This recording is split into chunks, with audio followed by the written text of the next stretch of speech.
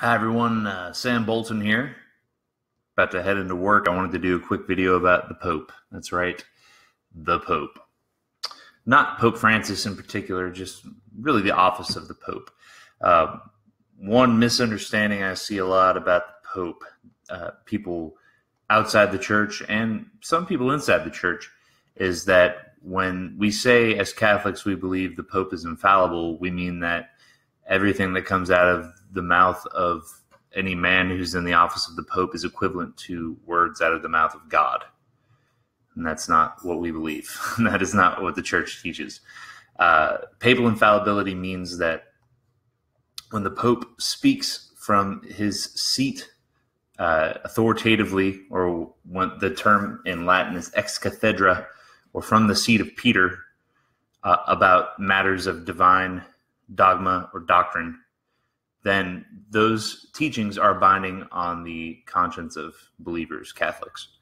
Um, if the Pope were to comment in an interview on an airplane about a political matter or a political or a politician, or about which stocks are good to buy, or about uh, the best uh, professional sport as far as entertainment value, those things are not uh, infallible.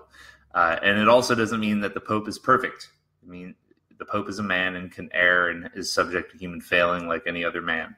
Um, there's a difference between infallibility from the seat of Peter when he's speaking authoritatively on issues of uh, morals and faith, and uh, impeccability, which means that he would be perfect. Pope is infallible when he teaches from the seat of Peter, not impeccable. Now, there is scriptural precedence for this that we point to. Uh, in Matthew 23, the Gospel of St. Matthew, Jesus is talking about the scribes and the Pharisees. Now, if some of you have read the Gospels before, you'll know that Jesus was no fan of the scribes and Pharisees. He criticized them much, uh, often, and used very strong language against them. But here he says to uh, the multitudes in the Douay Rheims again, chapter 23, verses uh, 1 through 3. Let's uh, look at that. Then Jesus spoke to the multitudes and said to his disciples, saying, The scribes and the Pharisees have sitten on the chair of Moses. All things, therefore, whatsoever they shall say to you, observe and do, but according to their works do ye not, for they say and do not. Uh, they have a, they had authority because they taught from the chair of Moses, which was the proto chair of Peter in the Israelite temple worship. Uh, so Jesus recognized that the scribes and the Pharisees were flawed and and were very hypocritical. He called them whitewashed tombs, but he still recognized they had authority and even told his apostles and the multitudes to listen to them when they taught from the chair of Peter, even though when they left and went about their daily lives, they may not have followed even their own teaching. And certainly there have been some prelates and are today some prelates who do the same thing, who teach things that are true and dogmatically correct and then go off and live hypocritical lives. Hypocritical lives. That does not destroy their God given authority, just as it didn't here. Jesus recognizes it. Uh, and within the church, I, I recently learned a term, and I'm still learning exactly what it means. It's called ultra Montanism. From what I understand, Montanism is, uh, I guess, putting the putting the Pope on a high level of respect and regard and looking to him as a source of authority, which is a good thing. Ultramontanism is taking it too far, right? Uh, and starting to think that whatever the Pope says and does is uh, should be regarded with uh, reverence, even if it seems to go against church teaching, which obviously is too far. You know, uh, like I said earlier, the Pope is not impeccable; he's infallible when he teaches from the chair of Peter. So uh, listen to the Pope as your spiritual authority when he's teaching on issues of divine uh, dogma, on issues of faith and morals. You don't have to listen to the Pope. I mean, you can agree with him, but you don't have to when he's talking about his personal opinions on things that don't have to do with faith and morals. So don't take it too far. Don't be an ultramontanist, but don't take it too far the other way and completely reject everything he says.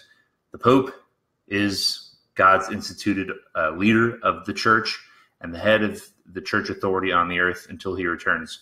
He's like the steward of the throne of Gondor in the Lord of the Rings story. I made this uh, comparison in one of my YouTube videos. Um, in the Lord of the Rings story, the king of Gondor uh, and the line of the king had been missing for a long time, but there was a family that uh, took care of the throne until the, the king returned.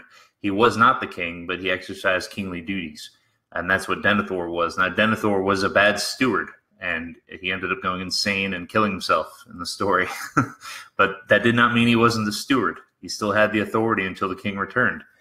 Uh, so, so it is with the Pope, good or bad. He has the authority until Jesus Christ returns, and there is precedence for this in the Old Testament as well. Uh, I don't have the scripture passage in front of me. I'll post it in the comments, but there is passages in the Old Testament talking about the Davidic king, which Jesus is the fulfillment of. He's the ultimate Davidic king of the universe. Uh, that he gave his authority to a to a kind of steward. Uh, he gave, and they use the exact same language that he uses in Matthew 16 when he's giving over the keys of the kingdom to Peter. So the Davidic kings gave the keys of the Israelite kingdom over to their stewards of their kingdom. So I'll post that in the comments. But there's uh, liter- a literary press, a literary analogy here, and also an Old Testament scriptural preference, uh, precedence to support this.